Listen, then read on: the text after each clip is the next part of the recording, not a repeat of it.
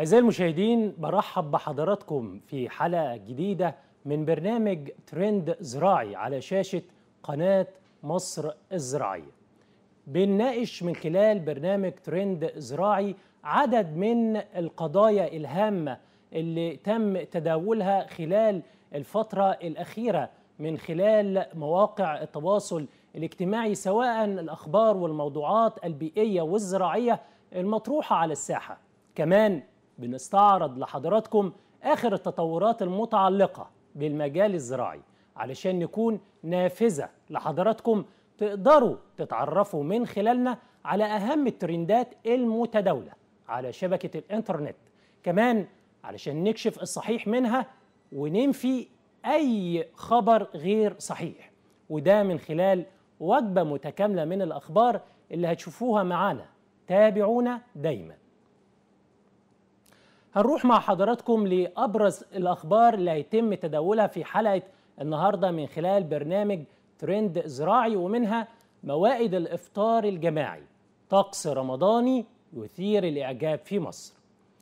معانا كمان الخبر الثاني الذهب الأحمر رحلة تجفيف الطماطم من الأقصر إلى أوروبا. خبرنا الثالث النهاردة في ترند زراعي مصر الأولى عالميا في تصدير طرود النحل إلى الخارج. كمان الخبر الرابع الزراعة الآلية تستعد لموسم حصاد القمح واللي هيتم إن شاء الله خلال أيام. والخبر الخامس لأول مرة انتخاب مصر لمنصب نائب رئيس هيئة تدابير الصحة النباتية بالأمم المتحدة. وأخيرا مصر تواصل ريادتها في إنتاج وتصدير بطاطس المائدة. هنروح مع حضراتكم لخبرنا الأول. موائد الإفطار الجماعي طقس رمضان يثير الإعجاب عبر مواقع التواصل الاجتماعي. بتتميز موائد الإفطار الجماعي في شهر رمضان الكريم بطبعها الخاص كونها بتنبع من قيم إيمانية واجتماعية. كمان بتعتبر تقليد سنوي مميز للشهر الفضيل في القرى والمدن. وفرصة لتجمع الأهل والأصدقاء والجيران على مائدة واحدة في مظهر اجتماعي بيشرح القلب زي ما بيقولوا. في أجواء رمضانية خطفت أنظار رواد مواقع التواصل الاجتماعي. من يوم الخميس اللي فات لحد النهارده مواقع التواصل الاجتماعي كلها في حالة على مواقع التواصل الاجتماعي بسبب تنظيم أكبر مائدة إفطار في مصر في حي المطرية بمحافظة القاهرة واللي جمعت الآلاف من أهالي الحي إلى جانب الضيوف من المصورين ومدونين على مواقع التواصل الاجتماعية وكمان سفراء واللي وثقوا مقتطفات من هذه الفعالية الرمضانية اللي بتجسد روح المحبة والترابط الاجتماعي بين المصريين. كمان مش بس المطرية لكن في دمياط نظمت نقابة المحامين أكبر مائدة إفطار جماعي امبارح السبت في شوارع مركز كفر سعد في دمياط وده وسط أجواء كرنفالية واحتفالية. شهدت المائدة إقبال جماهيري كبير للمشاركة في الإفطار الجماعي. وتداول رواد مواقع التواصل الاجتماعي فيسبوك صور مائدة الإفطار وسط ترحيب واحتفال كبير. وده بالإضافة لتنظيم أهالي قرية السعيدية القبلية أطول مائدة إفطار جماعي بدمياط حيث شهدت إقبال جماهيري من الأهالي وده للمشاركة في مائدة الإفطار. يعني القرى القرى المصرية يعني دايما وكل مصر كل ربوع مصر بيكون في حالة من الحب والخير في محافظات مصر من قرى ومدن ونجوع سواء في وجه بحري في وجه إبلي في سينا في كل مصر خلال الشهر الكريم. يعني خلونا نتعرف بشكل أكبر على مائدة إفطار المطرية واللي كانت حديث مواقع التواصل الاجتماعي خلال الثلاث أيام اللي فاتوا. يعني حالة من البهجة على مواقع التواصل الاجتماعي من خلال اتصالنا مع الأستاذ محمد مفتاح منظم مائدة إفطار المطرية. برحب بحضرتك. أهلا بحضرتك أستاذ أحمد واهلا باسره البرنامج جميعا يا رب. أهلا بحضرتك. يمكن حالة من الجمال صنعها أهالي المطرية. يعني أعرف إن ده السنة السابعة على التوالي اللي بيتم فيها تنظيم مائدة الإفطار وكل سنة ما شاء الله بتزيد. يعني أنا بحييك وبحيي كل أهالي المطرية على هذا الجمال اللي يعني بيتكلم عن جمال الشعب المصري وكرم الشعب المصري مش بس في شهر رمضان لكن خلال أو طوال أيام السنة. عايز أتكلم عن الجمال اللي صنعه أهالي منطقة المطرية وكلمني عن الاستعدادات. آه متشكر جدا لحضرتك ومتشكر جدا لدخلة حضرتك الجميلة عن عن المطرية وعن أهل العزومة.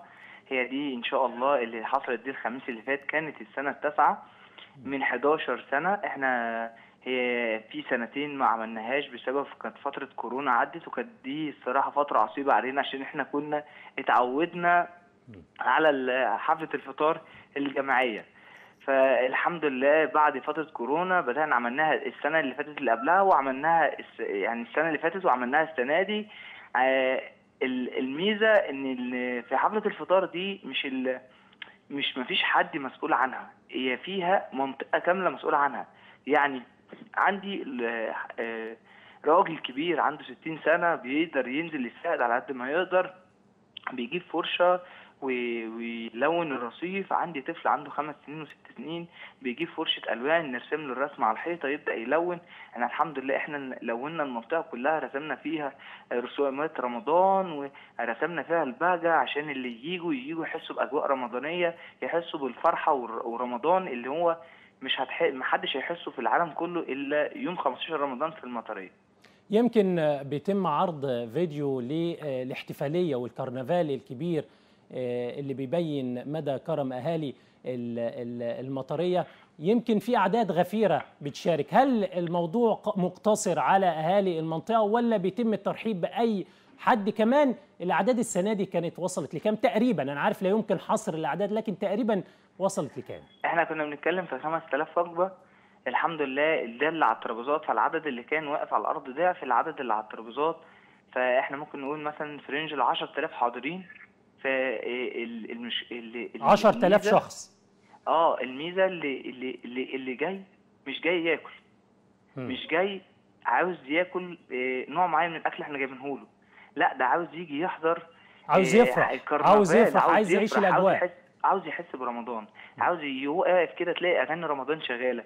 تروس شبابية شغالة على الأرض متقسمين شغالين بنظام يعني ممكن ما تلاقيش شركة تنظيم تقدر تعمله. في ناس مختصة بالمطبخ ناس مختصة بالحلويات الشرقي كل ده متطوعين. ناس مختصة بالتغ... بالتغ... بالتغليف. ناس مختصة بالميديا استقبال الصحفيين. ناس مختصة بالأرضيات اللي هو استقبال الزائرين وقعدهم على الترابيزات.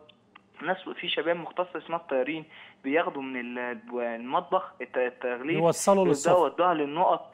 يعني أنا بنتكلم في عندنا الادارات مسؤولة عن كل مجموعة شباب. عندنا الحمد لله السفير الكوري جه بدون حراسة. عندنا بلوجر وأجانب كتير. جم حفلة الفطار عندنا وكالات أنباء عالمية جت وبأجانب. الحمد لله ما فيش بنحمد ربنا الحمد لله وده بفضل ربنا وإخلاصنا النية لله اللي اليوم يطلع حلو. ما فيش مشكلة حصلت ما فيش مشكلة في تأمين. السفير قعد على ترابيزة مع المواطنين عادي خالص نفس الأكل اللي نزل للناس هو نفس اللي اكله وعجبه جدا كل محشي وكل طاجن لحمة. فاحنا ما عندناش ما فيش الحمد لله كان في بنات وسطنا كتير جدا وبنات صحفيين وبنات وأسر وأهالينا وأخواتنا كانوا موجودين. ما فيش حاله تحرش واحدة. إحنا كنا بس بنحاول نوصل رسالة لمصر وللعالم كلها إن هي دي المطرية.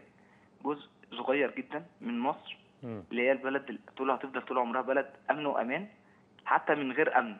إحنا أمنها يعني. الشعب المصري إن شاء الله هيفضل طول عمره هو أمنها هو اللي هيحافظ عليها وهو اللي إن شاء الله هيوصل رسالة للعالم كله. هي دي مصر هي دي الفرحة. أنا عاوز أقول لحضرتك إن كان في بلوجر سعودي تقيل جاي وقابل مواطنة سعودية هم جايين عشان يحضروا حفلة بس.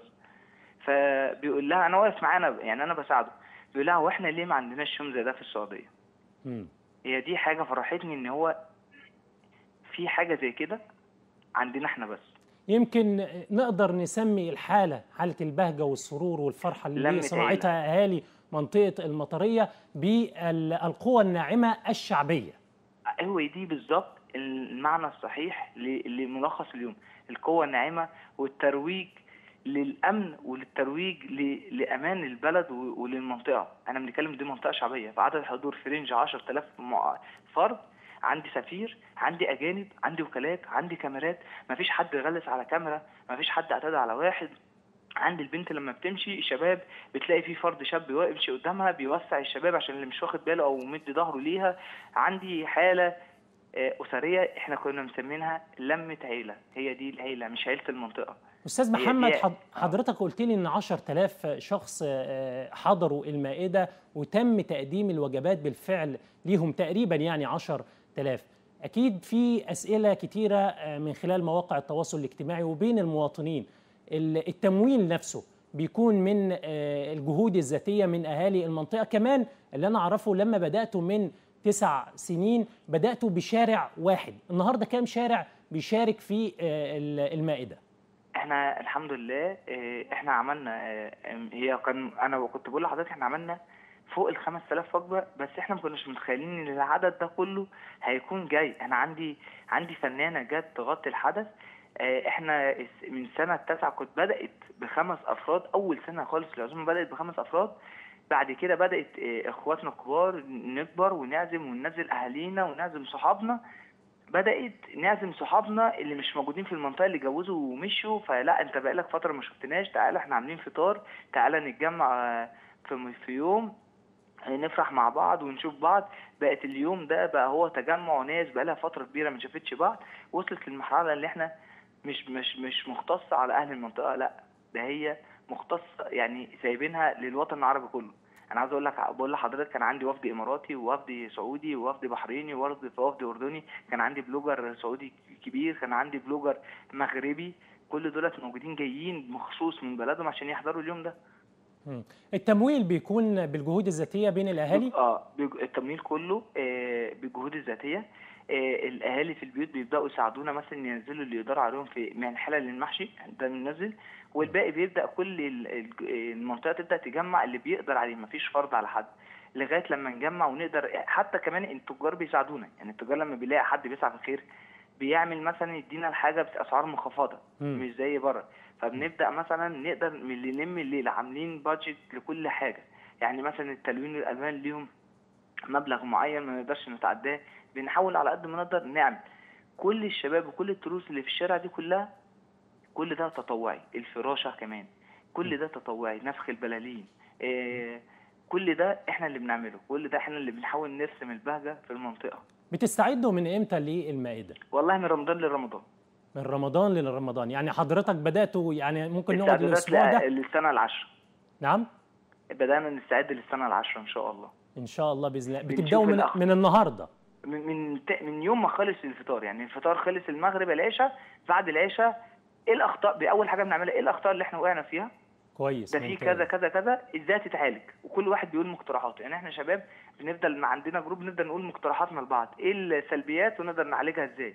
يعني نفضل نخطط كده لغاية رمضان الجاي. العملية بتتم وفق دراسة مش إن إحنا ب ب ب بنحط كراسي وبندعو الناس لا لا وبن... لا طبعا دراسة وتنظيم و ومش اللي هو مثلا سايبينها كده عشان كده حضرتك طلعت بالشكل اللي حضرتك شايفه مم. لا، هو بصراحه. هو بصراحة شكل مبهج يعني بيدل إن دي مصر اللي, اللي بجد أنا بشكرك أستاذ محمد آه، مفتاح آه، أحد المنظمين لمائدة الإفطار في آه، منطقة المطرية وبشكر كل أهالي المطرية اللي يعني بينوا إن مصر دايما فيها حاجة حلوة وده جمال مصر وجمال شعب مصر في منطقة المطرية وكمان في كل ربوع مصر في القرى والنجوع والمدن والمحافظات المختلفة لأن ده شهر الكرم شهر الخير وموائد الرحمن وفق السياقات التاريخية بدأت من هنا من مصر. كل الشكر والتقدير والتحية لحضرتك ولكل أهالي المطرية. يعني هنروح مع حضراتكم للخبر الثاني واللي بيكون فيه الذهب الأحمر. رحلة تجفيف الطماطم من محافظة الأقصر إلى أوروبا. كل سنة حضراتكم بيبدأ إخواننا المزارعين في محافظة الأقصر تحديدا لأن محافظة الأقصر ومحافظات الصعيد بتشتهر بزراعة الطماطم في مساحات كبيرة جدا. بيبدأ نشاط مهم جدا وهو تجفيف الطماطم. وطبعا عملية تجفيف بتكون من خلال المناشر اللي بتكون من خلال أشعة الشمس وبيبقى عندنا منتج صحي وآمن في مصر وبدأت المشروع وبدأ المشروع ده من سنين. والطماطم المصرية ليها قبول كبير جدا للأسواق الأوروبية ومنطقة دول أمريكا الجنوبية. علشان نطلع كيلو واحد من الطماطم المجففة بنحتاج 10 كيلو من الثمار الطماطم الطازجة. كمان بتدخل في الطماطم في صناعات غذائية زي الصلصة والمقبلات ومكونات البيتزا وغيرها من الاستخدامات التانية. مصر بتحتل المرتبة الخامسة عالميا. تاني مصر بتحتل المرتبة الخامسة عالميا في إنتاج وزراعة الطماطم. وبتيجي أهمية المشروع ده في تقليل الهادر من الطماطم وكمان توفير فرص العمل للشباب. خلوني أقول لحضراتكم بمناسبة إن مصر بتحتل المركز الخامس عالميا في إنتاج وتصدير الطماطم إن مصر من خلال وزارة الزراعة واستصلاح الأراضي ومعهد بحوث البساتين التابع لمركز البحوث الزراعية بيتم إنتاج طماطم تقاوي طماطم مصرية من خلال البرنامج الوطني لإنتاج تقاوي الخضر. يمكن الطماطم من أهم محاصيل الخضر اللي بيتم زراعتها في مصر وخلال السنين الجاية إن شاء الله يعني هنشوف التوسع في زراعة التقاوي المصرية والهجن المصرية من محصول الطماطم وده هيساعد بشكل كبير جدا في تقليل الفاتورة الاستيرادية من تقاوي الخضر لجميع الأنواع مش بس الطماطم لكن لعدد كبير جدا من تقاوي الخضر المختلفة. الباحثين في البرنامج القومي لإنتاج تقاوي الخضر شغالين في عدد كبير جدا من المحاصيل المختلفة. خلوني أروح مع حضراتكم للخبر الثالث.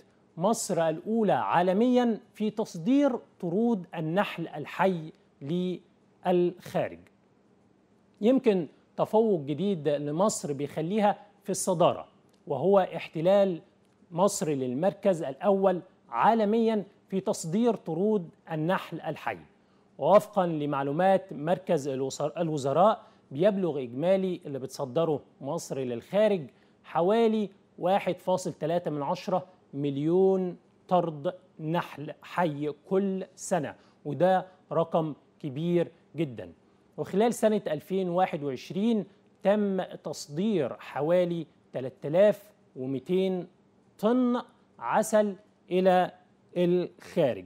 كمان بتبلغ قيمة صادرات مصر من منتجات نحل العسل ومستلزمات الإنتاج حوالي 300 مليون دولار وبيبلغ إجمالي إنتاج مصر من عسل النحل حوالي 30 ألف طن ده غير أن مصر بتمتلك حوالي 2 مليون طائفة وخلية نحل وبيشتغل في مجال تربية نحل العسل في مصر حوالي 25 ألف أسرة. مش بس كده لكن كمان في قرى في مصر بتقوم على صناعة ويعني تربية نحل العسل ومنها الأشهر القرية الأشهر في مصر قرية حصة شبشير بمركز طنطا في محافظة الغربية. كل أهالي القرية بيشتغلوا في هذه الوظيفة في تربية نحل العسل والصناعات القائمة على هذا المشروع الهام وكمان قرى مركز بنها في محافظة الأليوبية خلونا نتعرف بشكل أكبر على هذا الموضوع الهام والتفوق الكبير لمصر والريادة في مجال تصدير طرود نحل العسل الحي واللي مصر ما شاء الله خلال السنوات الأخيرة الماضية يعني متفوقة فيه بشكل كبير والمنافسة شرسة لكن يعني أولاد مصر قد التحدي وقد المسؤولية. هيكون معنا الدكتور محمد فتح الله رئيس قسم بحوث نحل العسل بمعهد وقاية النباتات التابع لوزارة الزراعة واستصلاح الأراضي. برحب بحضرتك معنا يا دكتور. أهلا وسهلا بحضرتك يا فندم وكل السادة مشاهدي مصر الزراعيه وحضرتك بخير وصحة وسعادة. يمكن زي ما قلنا إن مصر بتحتل المركز الأول عالميا في تصدير طرود نحل العسل الحي. ما هي طرود نحل العسل الحي؟ هل هي بتختلف عن العسل ومشتقات العسل في البداية؟ طبعا طرد النحل هو عبارة عن النواة اللي بيبدأ بها أي مقبل على إنشاء مشروع منحل. بدايته بيبدأ بطرد النحل. الطرد عبارة عن آلاف من الشغالات.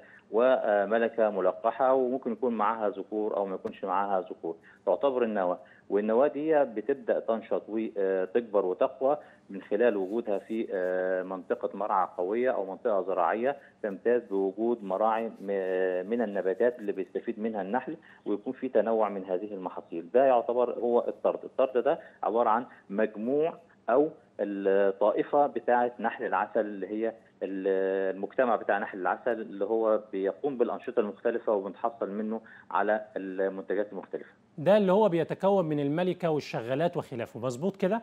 تمام حضرتك. طيب إيه الميزة التنافسية اللي في مصر اللي بتخلي عدد كبير جدا من الدول بيقبلوا على استيراد طرود نحل العسل من مصر خاصة إن المنافسة شرسة مع عدد كبير جدا من الدول في المنطقة؟ طبعا تمتاز مصر بالجو المعتدل اللي هو بيدي إتاحية لأن النحل يكون نشيط على مدار العام تقريبا مع تنوع المحاصيل الزراعية على مستوى الجمهورية. مصر بتتوسط المنطقة السوق الأكبر لشراء الطرود اللي هي المنطقة العربية والمنطقة الأفريقية بتتوسطها. مصر بتمتاز بظروف جوية ومناخية قريبة الشبه من الأجواء الموجودة في الجزيرة العربية واشقائنا في الخليج العربي. مصر بتمتاز بالسعر المنخفض للطرود. هو يعادل تقريبا أقل من ربع مثيلاته في على مستوى العالم. بتمتاز النحل إن هو هجين ما بين سلالات العالمية سواء الكرينيولا أو الإيطالي والسلالة المصري اللي تمتاز إنها تتحمل الإصابة بال بالأمراض المختلفة بالإضافة إلى تحملها للظروف المناخية غير المواجهه. يعني أفهم من كده إن السلالات المصرية بتمتاز بمقاومة الأمراض يعني ده ميزة نسبية بتمتاز بها النحل المصري. مظبوط يا دكتور؟ هي هي مش مقاومة بمعنى كلمة مقاومة إنما تحملها. هي يعني أكثر تحملا للاصابه بالأمراض عن السلالات العالمية نتيجة للتهجين الحادث بين سلالة النحل المصري أو مطلق عليها سلالة النحل الفرعوني وبين السلالات الأخرى فبالتالي بتكسبها بعض الجينات اللي هي بتديها صفة تحمل الإصابة بالأمراض.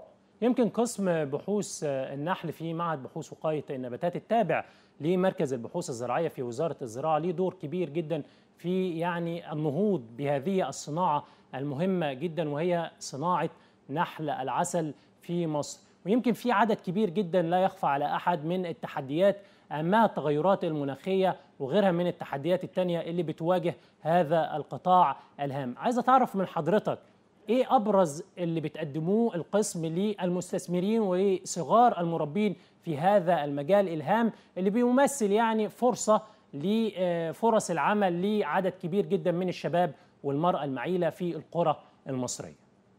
هو طبعا زي ما حضرتك ذكرت إن في مجهودات أدت إلى النهوض بصناعة نحل العسل ولعلها المجهودات اللي تبذلها القيادة السياسية العليا للنهوض بكافة مناحي الحياة في مصر وعلى أهمها النشاط الزراعي والقطاع الزراعي. وزارة الزراعة بتولي الزراعه أهمية كبيرة وهو ده أدى إلى نمو القطاع الزراعي وزياده الإنتاجية. وعلى أهم رأس أو رأس هذه الاتجاهات أو المجالات في القطاع الزراعي مجال تربية نحل العسل. اللي بتوليه الوزارة أهمية خاصة نتيجة ل أهميته في تلقيح المحاصيل وذات الإنتاجية وتحسين نوعيتها بالإضافة لأنه مصدر للعملة الصعبة لنتيجة لعمليه الصادرات. طبعا من أهم التحديات اللي بتواجه عملية صناعة نحل العسل في مصر زي ما حضرتك أشرت كده التغيرات المناخية اللي إحنا بنلمسها وأثرت على جميع مناحي الحياة على مستوى العالم.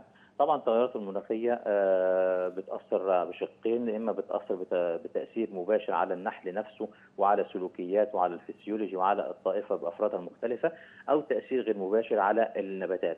فالمجابهة التغيرات المناخية هو محصلة جهود جميع التخصصات في مركز البحوث الزراعية بداية من المقننات المائية والاستخدام الرشيد للمياه والاستخدام الامثل لوحده المياه إضافة إلى استنباط محاصيل تتأقلم أو تتوائم مع التغيرات المناخية بما يتلائم مع نشاط صروح نحل العسل يمكن جهد كبير بتقوم به وزارة الزراعة واستصلاح الأراضي ومركز البحوث الزراعية من خلال قطاعاته ومعاهده البحثية المختلفة وعلى رأسها قسم بحوث النحل في معهد وقاية النباتات التابع لوزارة الزراعة واستصلاح الأراضي للنهوض بهذا القطاع الهام واللي مصر بتتميز فيه بشكل كبير. بشكر حضرتك شكرا جزيلا الدكتور محمد فتح الله رئيس قسم بحوث نحل العسل بمعهد وقاية النباتات.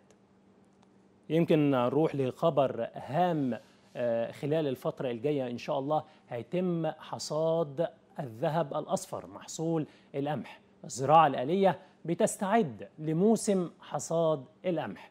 مع قرب موسم حصاد القمح بتستعد وزارة الزراعة وتحديدا قطاع الزراعة الآلية من خلال إجراء كافة عمليات الصيانة اللازمة لجميع الآلات بمحطات الزراعة الآلية والميكنة الزراعية وده بيضمن لي استعدادها أو بيضمن استعدادها لموسم حصاد محصول هام وهو محصول القمح وتقديم الدعم للمزارعين والجمعيات الزراعية المختلفة في كل قرى مصر وتوعيتهم بأهمية استخدام الميكنة الزراعية والزراعة الآلية في كافة المراحل بداية من تجهيز التربة وحتى الحصاد. خلونا نتعرف بشكل أكبر على الجهود الكبيرة اللي بتقوم بها وزارة الزراعة من خلال قطاع الزراعة الآلية من خلال اتصالنا مع الدكتور عادل الأشقر رئيس قطاع الزراعة الآلية. برحب بحضرتك معنا يا دكتور. يا أهلا وسهلا يا فندم أهلا وسهلا. كل عام وحضرتك بخير. وأنت بخير يا فندم. يمكن وسهلاً. الزراعة الآلية خلال الفترة الحالية استعدادات قصوى من خلال المحطات المختلفة المتواجدة في كل ربوع مصر في كل المحافظات والمراكز وأيضا القرى استعدادا لحصاد محصول الذهب الأصفر القمح. ويمكن إحنا شفنا السنة اللي فاتت كان لكم دور كبير جدا في حصاد القمح في المشروعات التنموية الكبرى سواء في مشروع شرق العوينات أو مشروع توشكا.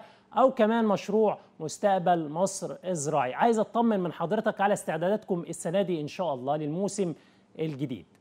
بسم الله الرحمن الرحيم. آه، كل سنة وأنتم طيبين أولا. وحضرتك وبمناسبة شهر رمضان الكريم آه، قطاع الزراعة الآلية زي ما سيادتك عارف إنه بيضم 135 محطة ميكنة زراعية على مستوى الجمهورية منها ما يخدم المساحات آه، الصغيرة في الدلتا ومنها ما يخدم المساحات الكبيرة في المشروعات العملاقة. آه، زي ما حضرتك قلت توشكا والفرافرة و- و- و- وشارع العوينات والضبع جنوب مطروح. وطبعا مع المزارعين أصحاب المساحات الكبيرة في تلك المناطق.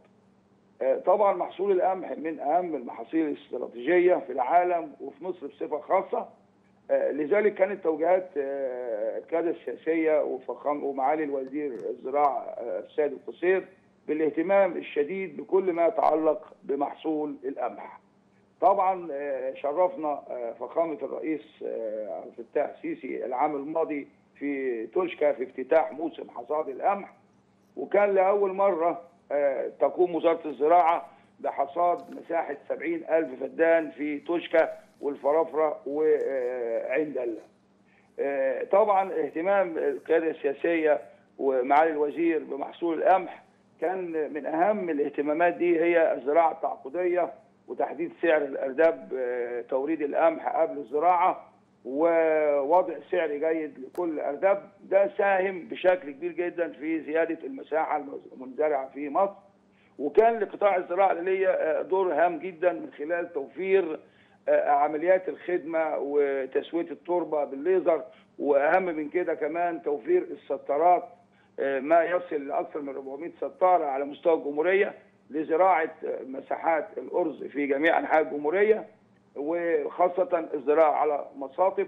وكمان راعينا المحصول بمعدات القطاع أثناء عمليات الخدمة لنمو المحصول من رش ال- ال- ال- المبيدات والمغذيات الورقية سواء في المساحات الصغيرة أو في المساحات الكبيرة.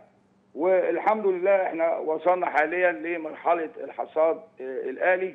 قطاع الزراعة الآلية بيستعد بشكل جامد جدا وكبير جدا آه، في توفير آلات الحصاد سواء الآلات اللي هي آه، على الجرارات أو الآلات الذاتية الصغيرة آه، اللي هي بتقوم بعملية الحش والتربيط وكذلك المعدات الكبيرة اللي هي كومباينات حصاد القمح. وده الحمد لله عايز أبشر سيادتك إنه أمس بدأ حصاد القمح في منطقة توشكا بعدد 40 كومباين عرض من 7 ل 9 متر وإن شاء الله قريبا سيبدأ الحصاد في منطقة الفرافرة وعين دله والحمد لله الأمور مبشرة بالخير الانتاج السنة دي ما شاء الله. أحب أطمن كل من يهتم بمحصول القمح إن هذا العام هو عام مختلف تماما عن الأعوام السابقة. وإحنا كقطاع الزراعة الاليه يهمنا جدا. إن إحنا نوفر كل المعدات الخاصة بحصاد القمح في الدلتا وفي المساحات الكبيرة إن شاء الله. هل حصاد القمح أو خلافه من المحاصيل الزراعية المختلفة يعني من خلال الميكنة الزراعية والآلات الزراعية الحديثة ده بيقلل الهادر في عمليات الفاقد من المحصول يا دكتور؟ سعادتك لمست شيء مهم جدا طبعا الاستخدام الميكنة سواء من عملية الخدمة لعمليه الحصاد أول حاجة سيادتك ده بيقلل تكاليف الإنتاج على المزارع فبالتالي بيزود الدخل ده من خلال توفير التقاوي وتوفير الأسمدة عن طريق استخدام آلات نسر الأسمدة. وأثناء عملية الحصاد طبعا استخدام الميكنه بيقلل الهدر والفائد في المحصول لأن الآلة وهي بتشتغل بيتم معايرتها وضبطها بجميع أجزائها بحيث إن هي لا تفقد أي أي فاقد في الحبوب أثناء الحصاد. هل ده خلاف جودة المنتج أثناء الحصاد، سيادتك عارف إن القمح لما بيتورد للصوامع بيبقى له رتب. الرتب دي بيتحدد عليها سعر توريد الارداب فبالتالي استخدام الميكنة بيؤدي إلى نظافة الحبوب بشكل كبير جدا وبيصل للفلاح لأعلى رتبة فبيحصل على أعلى دخل له. أثناء توريده للمطاحن. أنا بشكر حضرتك. شكرا جزيلا الدكتور عادل الاشقر رئيس قطاع الزراعة الآلية بوزارة الزراعة واللي طمن حضراتكم وطمنا الحمد لله إن السنة دي سنة مبشرة بالخير. بشاير خير الحمد لله.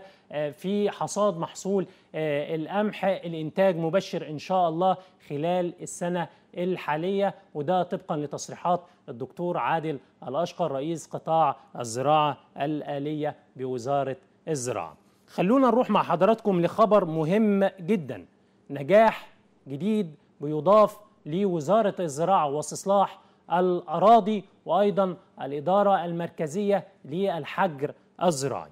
لأول مرة انتخاب مصر لمنصب نائب رئيس هيئة تدابير الصحة النباتية بالأمم المتحدة. تم انتخاب مصر وده لأول مرة لمنصب نائب رئيس هيئة تدابير الصحة النباتية بالاتفاقية الدولية لوقاية النباتات بالأمم المتحدة لمدة عامين. وده تم إعلانه خلال اجتماعات الدورة السبع ال17 من هيئة تدابير الصحة النباتية بالاتفاقية الدولية لوقاية النباتات بالأمم المتحدة واللي تم عقدها بمقر منظمة الأغذية والزراعة للأمم المتحدة بروما. هذا الإنجاز غير المسبوق بيعزز من مكانة جمهورية مصر العربية في مجال الصحة النباتية والحجر الزراعي على المستوى الدولي. كمان بيساعد في سرعة النفاذ للعديد من الأسواق التصديرية الهامة. يمكن زي ما قلت لحضراتكم هو نجاح كبير بيتم لمصر ووزارة الزراعة واستصلاح الأراضي ولكل مواطن مصري. خلونا نعرف أكثر عن تفاصيل هذا الخبر الهام ويمكن مصر خلال الفترة الأخيرة نجحت في فتح أسواق تصديرية مهمة جدا لعدد من المحاصيل أو من العدد من الدول المختلفة كمان هناك يعني زيادة في صادرات مصر الزراعيه وده خلال الفترة الأخيرة السنة اللي فاتت وصلت صادرات مصر لحوالي 6.5 من عشرة مليون طن من الصادرات الزراعية المختلفة سواء من البطاطس أو الموالح أو الفراولة المجمدة أو كمان الخضار الخضروات وعدد كبير جدا من الفاكهة. وكمان آه، عدد من آه، آه، منتجات اللي بيتم دخولها في الأعلاف. خلونا نروح للخبر الأخير. مصر تواصل ريادتها في إنتاج وتصدير بطاطس المائدة. زي ما حضراتكم عارفين إن مصر بتعتبر من الدول الرائدة في إنتاج وتصدير البطاطس بمواصفات قياسية. وده وفقا لتقارير وزارة الزراعة. فاجمالي كميات بطاطس المائدة المعدة للتصدير واللي تم فحصها من بداية العام الجاري حتى نهاية مارس الماضي بل- بلغت حوالي 526429 طن وده بإجمالي عينات 20 ألف عينة و470 عينة. فيما يتعلق بعدد العينات أو الفحص الظاهري لعمر 75 يوم من الزراعة بلغت خلال شهر مارس حوالي 560 عينة. كمان و266 عينة للصيفي فيما بلغ الإجمالي للعام منذ بداية العام وحتى نهاية مارس حوالي 7947 عينة للعروة الشتوية و698 للعروة الصيفية. خلونا نتعرف بشكل أكبر على آه هذا الموضوع الهام خاصة أن مصر يعني بتكون لها الريادة في آه تصدير البطاطس من خلال آه اتصالنا مع الدكتورة نجلاء بلابل مدير مشروع حصر ومكافحة مرض العفن البني في البطاطس. برحب بحضرتك معنا يا دكتور. أهلا وسهلا بحضرتك واهلا بكل السادة المشاهدين. يمكن وكل يا عام وحضراتكم طيبين طبعا. وحضرتك بخير وصحة وسعادة وكل الشعب المصري بخير وصحة وسعادة.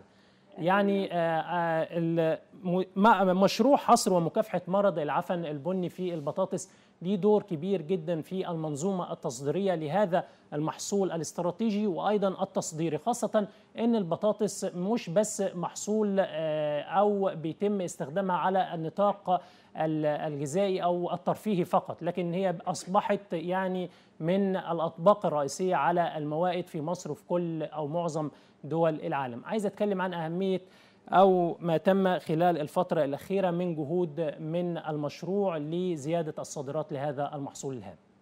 هو زي ما حضرتك قلت إن ال- المشروع ده أو الكيان دوت هو بيلعب دور محوري وأساسي جدا في العملية التصديرية لأحد أهم المحاصيل التصديرية ألا وهو البطاطس. زي ما حضرتك عارف إن البطاطس هو المحصول رقم اثنين في التصدير بعد الموالح المشروع طبعا هو بيقوم بمنظومة إن هو حضرتك بي آه، آه، طبعا ليه الدور إن هو بيأسس وبتأسيس وصيانة المناطق الخالية اللي هي المناطق المصرح ليها للتصدير. المشروع هو اللي بيأسسها هو اللي بيعمل لها عملية الصيانة. آه، بالإضافة لكده حضرتك آه، الفحص طبعا كل البطاطس المائدة اللي بتتصدر لمختلف دول العالم المشروع هو اللي بيفحص. هو الجهة الوحيدة في جمهورية مصر العربية اللي بيقوم بهذه آه، بهذا العملية عملية الفحص. الشهادة بتاعته طبعا ده آه، معترفه في جميع دول العالم في جميع أنحاء العالم آه، شهادة مشروع العفن البني للبطاطس. بمعنى إن مفيش أي حباية بطاطس آه، هتخرج بره البلد إلا بشهادة مشروع العفن البني للبطاطس. كذلك حضرتك تقاوي البطاطس اللي داخله البلد لازم حضرتك تعدي على المشروع آه، ولازم نفحصها عشان نتأكد خلوها من مرض العفن البني والعفن الحراري. ده بالنسبة للبطاطس اللي بيتم استخدامها في ال- ال- الأسواق المحلية. البطاطس حضرتك لا البطاطس اللي بيتم آه، اللي بيتم تصديرها. آه، آه، منظومة التصدير آه، طبعا آه، في البطاطس آه، من المحاصيل نقول اللي هي آه، الجيدة جدا الحظ لأن هي ليها منظومة بعكس المحاصيل الأخرى. فمنظومة التصدير هو حضرتك بيحدد المناطق اللي بتس... آه، بيحدد مناطق بعينها اللي بيتم فيها الزراعة آه، بتبقى التقاوي بتاعتها معتمدة بيبقى حضرتك ال- التقاوي بتاعتها لازم تتفحص. ال- الأرض طبعا قبل الزراعة تكون مفحوصة ومتأكدين من خلوها من المرض اللي عفن البني البطاطس. البطاطس اللي بتخرج بره البلد برضو نتاكد إنها آه، خاليه من مرض العفن البني البطاطس. يمكن مساحات المساحات اللي بيتم زراعتها بمحصول البطاطس محاصيل أو مساحات كبيرة جدا وعلى نطاق واسع وفي عدد من المناطق المختلفة في مصر سواء في توشكا العوينات الفرافرة آه، في مشروع مستقبل مصر في الوادي الجديد وغيرها. من المناطق المختلفة ومحافظات الصعيد المختلفة. إزاي بتتابعوا المزارع دي والبيفود؟ هل بيتم استخدام التكنولوجيا الحديثة والأقمار الصناعية في متابعة المزارع؟ بص حضرتك انت زي ما حضرتك قلت إحنا إحنا عندنا حوالي آه، 642 ألف فدان في المناطق الخالية آه، دول متوزعين على مختلف محافظات جمهورية مصر العربية مم. أثناء الموسم التصديري بيبقى حضرتك أنت عندك حوالي من 90 ل 100 ألف فدان من المناطق من إجمالي المناطق دي بيكون مزروع بالبطاطس آه، عملية حضرتك إن أنت تتابعها بالطريقة التقليدية طبعا دي كانت عملية في منتهى الصعوبة ما ينفعش دلوقتي مع في ظل المساحات الواسعة وفي ظل إنها طبعا آه، المناطق الخالية دي موجودة في أماكن بعيدة زي ما حضرتك قلت يعني إحنا عندنا آه، آه، محافظات كتير يمكن أكتر محافظة طبعا البحيرة يليها محافظة عندنا ال- الوادي ومحافظة أسوان. آه، بتشمل بقى شرق ال- العوينات والواحات والفرافرة والدخلة كل ده حضرتك مناطق طبعا تعتبر بعيدة. فإحنا حضرتك عملنا حاجة اسمها وحدة الرصد والمتابعة أو وحدة الجيومكان الجيومكاني. آه، دي حضرتك الوحدة دي اعتمدت في في تطبيقها أو إحنا بنطبق فيها حضرتك. حاجة اسمها نظم المعلومات الجغرافية وتقنية الاستش- الاستشاره عن بعد. وبنستخدم حضرتك صور الأقمار الصناعية في متابعه هذه المناطق. بمعنى إن أنا حضرتك إن أنا آه، طبعا اترسمت خريطة جغرافية آه، لكل المناطق الخالية على أساس الإحداثيات والمعلومات الجغرافية حضرتك. آه، بقى حضرتك كل الأماكن الموجوده عندنا بننزل أثناء الموسم التصديري. بننزل حوالي آه، ممكن حوالي 5 مليون 5 ونص مليون صورة فضائية للأماكن ال- لأماكن المناطق الخالية دي. فإحنا حضرتك بنتابع آه، كل ال- الأكواد أو البيوتات المزروعة أثناء الموسم عن طريق صور الأقمار الصناعية عن طريق وحدة الرصد وال- والمتابعة. بالإضافة لكده حضرتك أنا عندي مهندسين المناطق الخالية اللي هم حضرتك أثناء الموسم ما بيكونوش عندي في المشروع دول بيكونوا في ال- ال- ال- المواقع أو البيوتات المزروعة. فأنت حضرتك أنت كده بتتابع المناطق الخالية أثناء الموسم عن طريق حاجتين وحده الرصد والمتابعه وصور الاقمار الصناعية والمهندس كمان اللي موجود في ال pivot على أساس إن أنا حضرتك أربط ما بين البيانات اللي بيجيبها لي المهندس وما بين ال- الصورة الفضائية اللي هي بتدخل على ال pivot فأقدر أعرف مدى آه، مثلا لو في خطأ للمهندس أو مدى ده بيضمن لي. الشفافية يا دكتور. طبعا ده بيضمن هقول لحضرتك حاجة إن أنت بقى عندك control على المهندس آه، إن البيان ممتاز. اللي هو بيجيبه لك أنت. بتعمل عليه كنترول أنت لأن أنت بتتأكد آه، لأن حضرتك عن طريق ال- الصورة الفضائية وتغطية الاستشعار عن بعد إحنا بقينا نتابع كل حاجة يعني مم. بنتابع ميعاد الزراعة مواعيد الزراعة فلو المهندس جاب لي ميعاد زراعة مختلف أو آه، مش مظبوط أنا بعرف من خلال الصورة الفضائية من خلال تقنية الاستشعار عن بعد. حضرتك ال- الحصاد بنتابع الحصاد المساحة المحصودة بنتابعها عن طريق آه، تقنية الاستشعار عن بعد. اذا كل البيانات ال- اللي هو بيجيبها لي المهندس اللي هو موجود في أرض الواقع أنا حضرتك من خلال الوحدة وإحنا موجودين في في ال- في المشروع بنقدر نعرف إذا كانت البيانات دي مظبوطة أو غير مظبوطة. فده طبعا عمل إن أنت حضرتك بقيت أنت تقدر تتأكد وتتابع بكل سهولة ويسر كل المناطق الموجودة عندك على مختلف المحافظات. آه، بالإضافة لكده طبعا إحنا ال- الموسم دوت عملنا حاجة كويسة جدا لكل السادة المستثمرين اللي ليهم زراعات أثناء هذا الموسم اللي هي حضرتك عملنا آه، حاجة اسمها تابع مزرعتك. قدمنا لهم حضرتك كل المستثمرين حاجة آه، رابط إلكتروني أو آه، من خلال الرابط الإلكتروني ده وهو قاعد على مكتبه من خلال اللابتوب بتاعه أو تليفون هيشوف اللي إحنا بنعمله. بمعنى هيقدر إن هو يشوف حضرتك ال- ال- البيوتات اللي هي المزروعة بتاعته والتحليلات اللي إحنا عملناها له آه، سواء كان تحليل آه، الملوحة آه، تحليل صحة ال- النبات الحصاد اللي إحنا بن- بنتابع الحصاد وبنطلع له الكميات. حتى حضرتك المحطة راح ال- ال- الكمية المحصول دي راحت في أنهي محطة؟ هو يوميا حضرتك بيقدر إن هو يشوف الكلام دوت. فأصبح ومن خلال اللابتوب بتاعه. فأصبح إن حضرتك كده أنا خليت أنا شاركت يعني اللي أنا بشوفه أنا خليت المستثمر أو المصدر بيشوفه بكل سهولة ويسر وعلى أساس إن هو يقدر إن هو كمان يتابع كل البيفوتات اللي هو آه، داخل فيها أثناء الموسم أنا بشكر لأن- ح... أنا بشكر. حضرتك شكرا جزيلا دكتورة نجلاء بلابل مدير مشروع حصر ومكافحة مرض العفن البني في البطاطس ويمكن المشروع ليه آه، يعني دور كبير جدا في زيادة صادرات مصر الزراعية من محصول هام وهو محصول ال- البطاطس اللي بيعد من أهم المحاصيل التصديرية. يمكن هو بيحتل المركز الثاني بعد ما آه، بعد الموالح زي ما أكدت الدكتورة نجلاء بلابل. مشاهدينا خلال حلقة النهارده من برنامج ترند زراعي وتم يعني مناقشة عدد من الموضوعات اللي بتهم القطاع الزراعي والبيئي وأيضا عدد من الموضوعات اللي كانت حديث مواقع التواصل الاجتماعي بين المستخدمين خلال الفترة الأخيرة وكان أهمها مائدة الإفطار اللي تم تنفيذها في منطقة المطرية بمحافظة القاهرة واللي يعني لاقت استحسان وإعجاب عدد كبير جدا من المواطنين مش بس في مصر لكن التفاعلات كانت بره مصر. وتعرفنا من الأستاذ محمد مفتاح وهو أحد المنظمين لهذا الحدث. الهام ويعني اللي باين إن دي مصر اللي بجد.